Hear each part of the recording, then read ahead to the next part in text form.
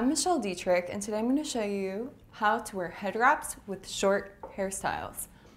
Christina, our model, has a really cool haircut. It's a little bit longer on top and shorter on the side, so she can really, really wear, well, anyone can, but if you want to let a little bit of your short haircut with a longer front show, or if you have such short hair that it won't, feel free to either, which I'm going to do with Christina, let a little bit stick out of her hair wrap in the front so you can see her bangs.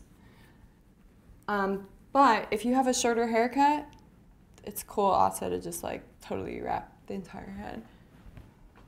We're gonna go also for a little bit of a side 20s headband kind of like. So if you watched any movies like So Beautifully Shot Out of Africa or anything like that, it's such a cool way to wear kind of flapper look, you know, rock and roll, modern, but like really pretty, really face framing.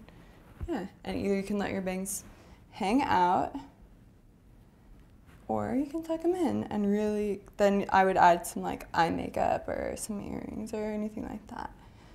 Um, so that's a cool way to wear wrap on short hair. And do you like it? Cool. Good. My name is Michelle Dittrich. Thanks.